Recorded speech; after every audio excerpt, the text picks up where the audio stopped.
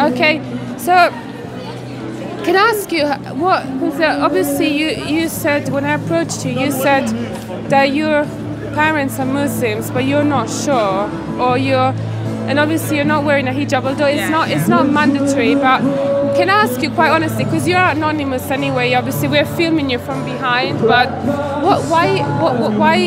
You're not so sure. Is there anything that?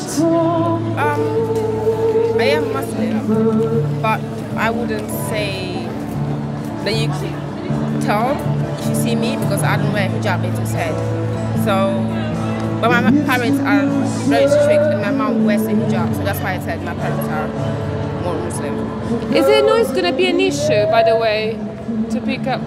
Can we stand a little bit back, just a little bit? Sorry, because I'm just conscious that it's a beautiful music. But so, is it like, because, uh, you know, what do you think, for example, about the, the women in Iran and what's going on with them? Because you don't wear a hijab. Yeah. What do you think? Because, you know, obviously they're Shia, I don't know what's your background, most Muslims are Sunni, but what do you think about that since you don't wear a hijab? Is you know, and it's a Um, Muslim country. I feel like it's not a choice in Islam, it's mandatory. But you should come to the choice yourself. So I don't agree with what's happening. Also because I heard that the politicians have daughters that live in the Western world and they do not wear hijab, they don't dress modestly. So that's kind of hypocrite as well. Uh-huh. So it's it's not it's not very good. I agree with the women and um, them manifesting. Yeah. So do you, do you think it's a lot to do? Because my understanding, right, is that um, there are some genuine Muslim people, and you know, but obviously there are genuine people everywhere. But my understanding with Islam that it's a lot to do with the outside, right? So you pray five times a day and you wear a hijab, and in Islam you're taught to hide your sin, right, and to not disclose it. But it's a lot to do with the outer appearance. What, what about the inside of a person?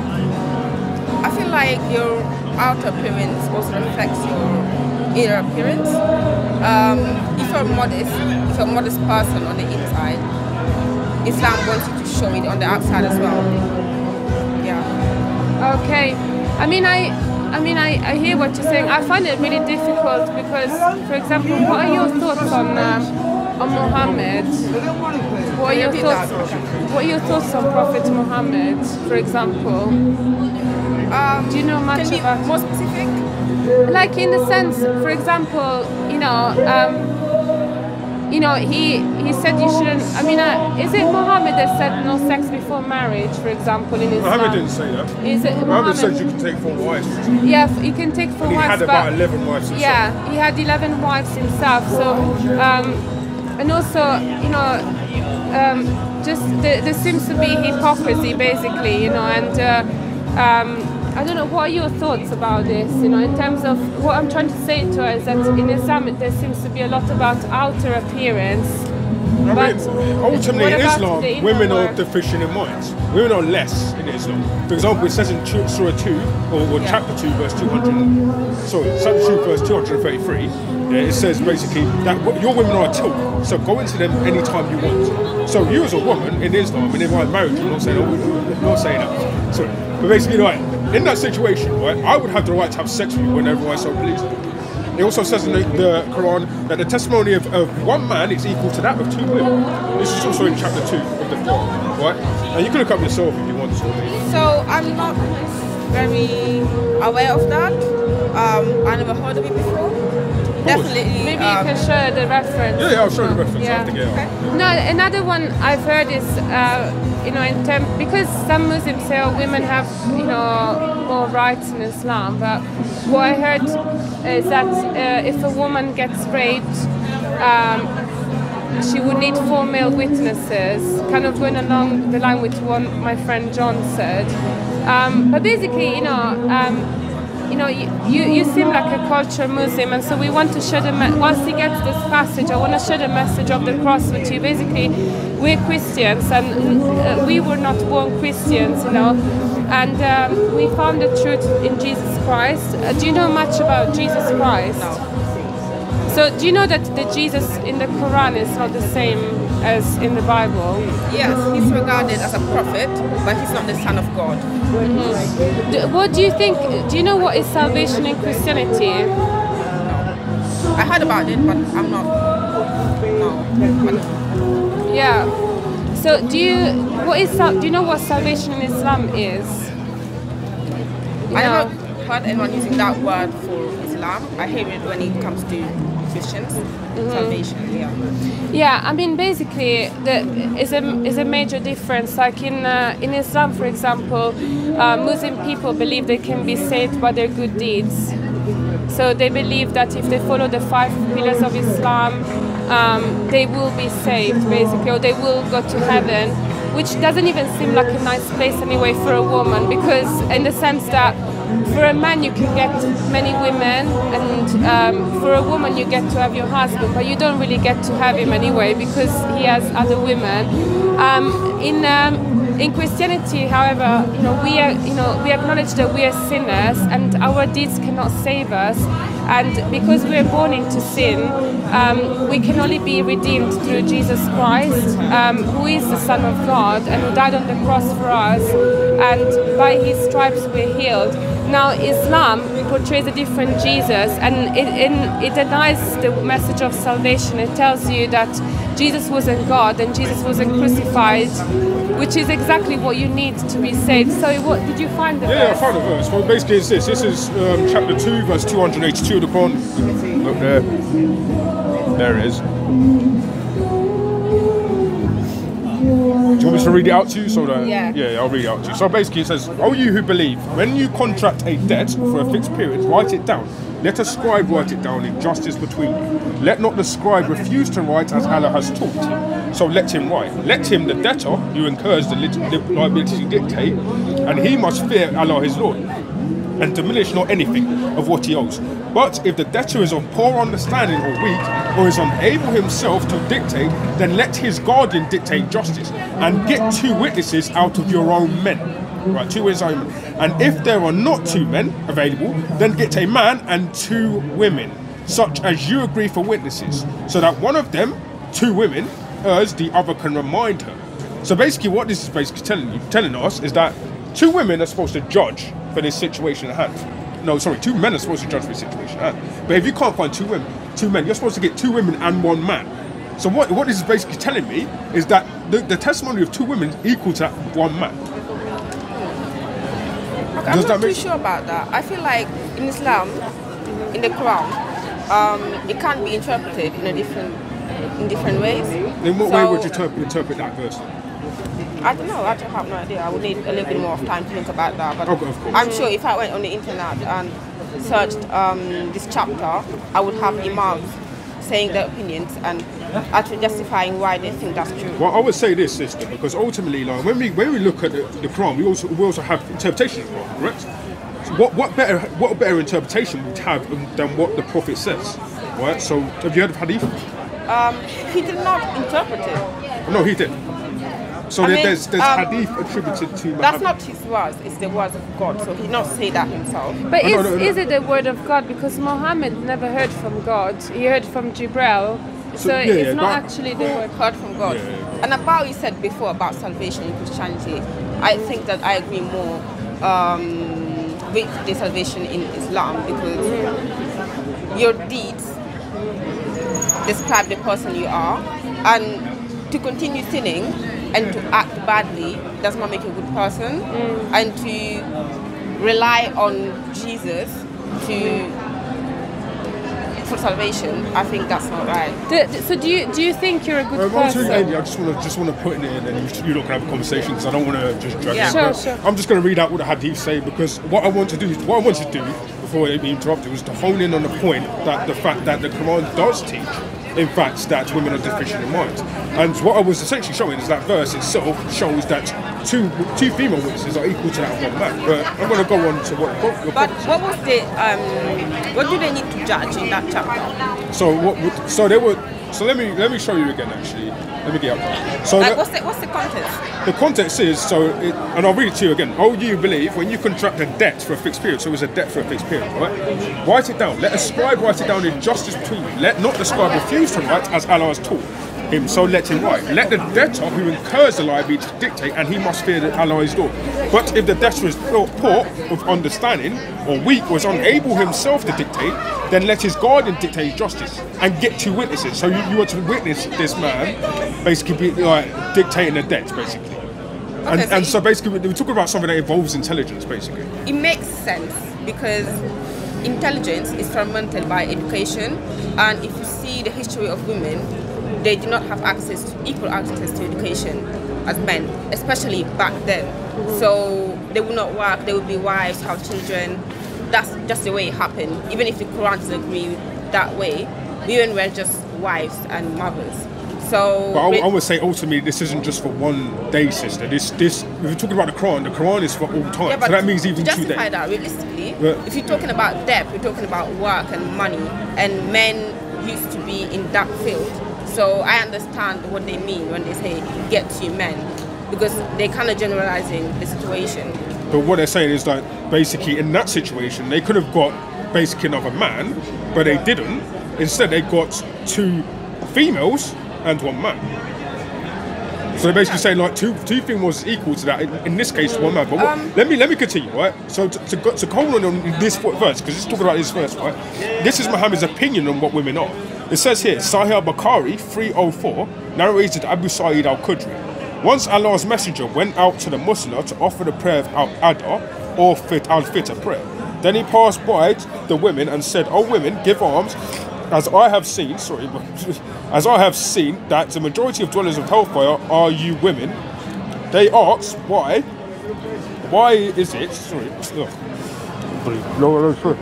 ugh. That's quite a statement to make. Yeah, yeah, yeah, it is. It is. As I have seen, the majority of the dwellers of hellfire were you women. They asked, why is it so? Allah's messenger, he replied, you curse frequently and are ungrateful to your husbands. I have not seen anyone more deficient in intelligence and religion than you. So Allah was not just saying you're deficient in intelligence, So he's saying you're in deficient this in religion. Quran? No, this is in the hadith attributed to Muhammad. Okay, so if it's not in the Quran, it's not the word of God, and it's not Islam. It may not be the word of God, but most. Muslims are not perfect. They don't That's- always see the, they don't always see perfectly. So as you if said, it's not in the Quran, it's not the word of God. so you So don't. as- yeah, yeah. Sorry, so you don't as uh, you- believe in you the hadiths then? Sorry. I mean- Yeah, I, I was going to say, as you said, sister, most, as you said- pointed out yourself, right? When women wouldn't have been educated the same way as men would, right? So they would have needed some other way to understand or to come to fundamental knowledge. What we're saying is that the hadith attributed to Muhammad were written by the scholars who followed him, and the scholars themselves dictate what the religion of Islam is. So when you go to a scholar and an imam, you're essentially doing what the hadith is doing. The hadith is giving you what Muhammad said these were, the, way these were to be interpreted. So when we when when when you read hadith, according to any Sunni, you can go up to the Sunnis on there on that store, you can ask them themselves. They would accept hadith. They have to.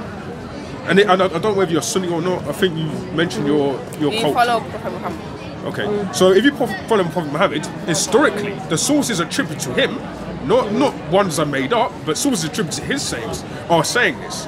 Now you can reject them, but the problem is if you reject them, then you're rejected. You're rejecting the Muhammad of the Quran, the same Muhammad you're claiming to want to follow. I mean, if you're not rejecting something in the Quran, then you're not rejecting anything. Um, no, well, you would be rejecting the seed of the prophets because ultimately, Muhammad essentially is the one But the who prophets are the prophets are not God. they're not God, but they're the ones who reveal God to us. So the perfect revelation of God has to come through the prophets But because we can't know not, what if it's not from God, it's not their word, it's their interpretation and their opinions. Yeah, but it wouldn't. Then we were not talking about their interpretation, sister. You got to understand. Prophets themselves are not like us. We as we're not prophets. We if, if I say that God has said something, I've got to be a prophet. Otherwise, I'm just speaking out of my behind. You understand? So ultimately, prophets are the ones who are entitled to, to receive revelation God and give it to us. Ultimately, they have to be perfect, perfect beings themselves, or they at least have to, in some way, perfect that religion for us, so we can understand as human beings. What I'm saying is, even the Quran says that it is an hadith itself. So if the Quran itself is an hadith, and I'm talking about hadith sayings of just Muhammad, there's not a problem with Muhammad himself writing sayings, writing them down, attributing to himself. What was going on? Yeah. We're next to the casino. Yeah. that- So, so ultimately, sister, opposite the hadith friends, are right? just as important in the. Quran according to mainstream Islam, you. not according to me. I'm not making I'll this up. you. The hadith are saying that you as a Muslim woman are deficient in mind and you are going to be the majority in hellfire. You have to make that decision. What do you accept that or do you reject hadith? If you reject the hadith, then you're rejecting mainline Sunni scholarship and you're rejecting most of Islam, according to most Muslims. I, I don't believe that. I mean, you can interpret it, interpret it a different way. But as I said before, I'm not really educated when it comes to prophets and hadith. So I can't really give a reasoning, but I'm sure if you found someone that knew what you're talking about, they would have an explanation about So it. I I, don't. I, I know, I know, I understand that. So I want to read from the Quran because you're telling me if it's from God, then essentially it's, it's final. So I, I want to read what the Quran says. This is in, spe- this is specific about women. So this is Surah 2, 223, right? I want to read it. Sorry, one minute, Amy. I'm just getting it up. Um, because it just takes ages to load up. Yeah, there we go. So what- one, one minute, Amy. you one minute. Um, so yeah, so this is what it says. Yeah, your women are a till for you. So go, so go into the, your tilth as you will, and send good deeds before your, you for your souls, and fear Allah, and know that you will one day meet Him. Give that believers. Right. This verse is literally con, con, condoning marital rape, and there's no other way to get around it, because there's no other way to say somebody's a tilth. If I say my wife is a tilth and I am to go into her whenever I want to, it's clear that Allah has given me an indication to go into a woman whenever I want to. So would you agree with that?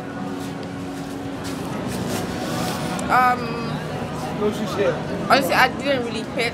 Uh, can you read that again? Okay, Yeah. so I'll read it again. Sorry, one minute. Uh, so it's just Surah, Surah 2. Um, I have, I have to go. I have to be somewhere for eight.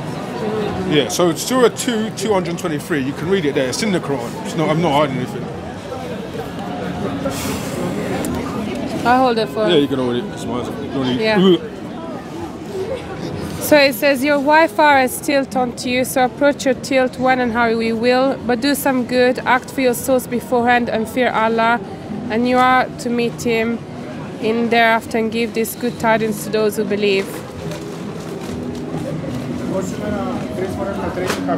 Yeah. But I, I was just gonna say, Madam, you know, just very briefly, can I conclude because she has to go? I mean, I, I, I, I'm gonna- gonna just say this and I'm gonna just go. Okay, go I on. don't really- Okay. So ultimately, like, I Yeah, understand you you. don't understand that verse. But what I would say is, is detrimental to you if you're going to follow Islam. There's many verses I, I can bring to you, sister, Mm-hmm. that, that shows that not only does, does the, the Quran condone pedophilia, and I can show that from the Quran, but the Quran condones beating women. That's Surah, uh, Surah 4, 34, beating a woman.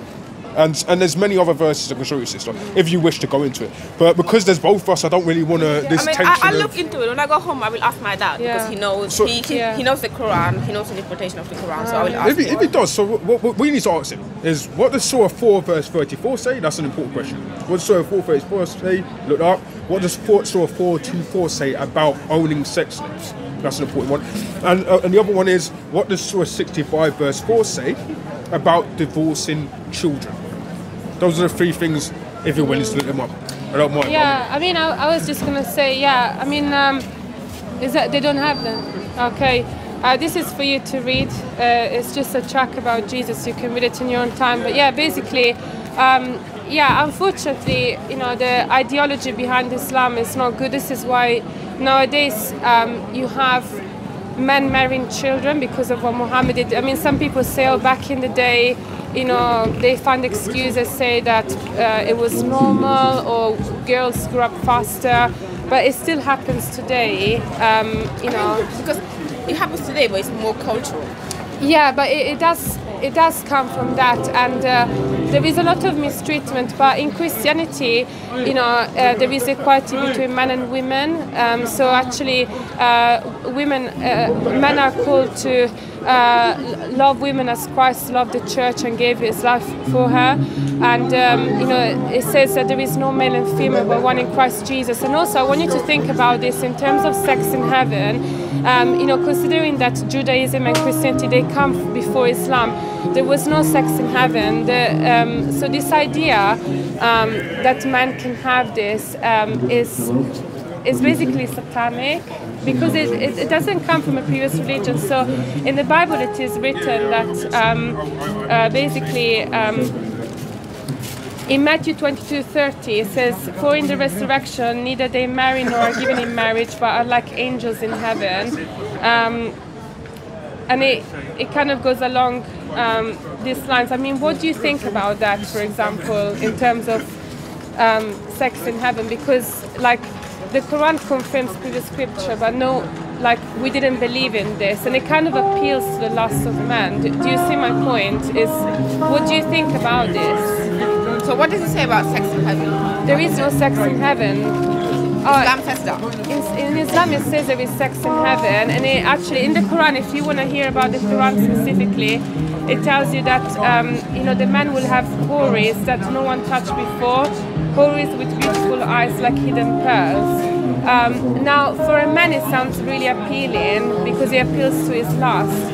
Um, but you know, truthfully, it's not um, appealing for a woman, is it? And it's not from God because something that is from God is not something that would be harmful. Um, it's not, um, you know. I mean, would you like if you got married and you know you have to share your husband for eternity with all these women? It can be up to 72 virgins. I mean, a man may be seduced by that and think, oh yeah, I like that, but it's not. It's not actually the truth and. Um, it's not something women agree with, even with polygamy, you know, um, something that Islam allows. Uh, I mean, I've looked into it, and Muslim women are not happy, but they have to submit. In, in Christianity, we believe that They, don't have to because Islam says that if your first wife does not agree for this husband to get a second wife, then he should not get a second wife. Well, I've spoken to Muslim men about this. Obviously, people have different interpretations, but Muslim men they can actually marry in secret, and what happens is they can even use women. Um, but I, I just want to leave you with the message of the cross before you go. That basically, um, in Christianity, you find cleanliness and you find truth, and um, you cannot save yourself. God can save you, and by uh, by the blood of Jesus, you're saved. You can receive the Holy Spirit, and when we go to heaven, there is no sex, there is no alcohol, flo- alcohol. You know, there is no things. There is just God, and we worship God in spirit and in truth. So, I can I pray for you before you go? Your prayer is a prayer. Yeah? Yeah, thank you. Heavenly Father, I thank you for this open minded lady, and I pray, Lord, that you will reveal the truth to her. I understand she respects her family's background and she respects her father and what he believes in. But, Lord, um, despite of this, um, she may have been born in the wrong religion, and maybe this is not true. And I and I trust, Lord, that you will reveal the truth to her, that only Jesus can save her, and only Jesus Christ, is the Lord come to flesh, can give her the Holy Spirit. He wasn't just a prophet, he didn't run from a cross, he, he was crucified so that people can be healed and receive the Holy Spirit and get saved. And I ask this in Jesus' name, Amen. God bless you.